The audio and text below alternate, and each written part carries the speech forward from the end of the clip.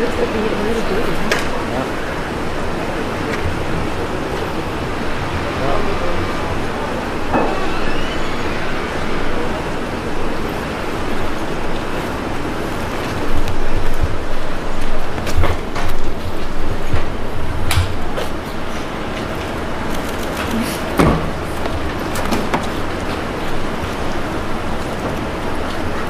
Thanks, guys.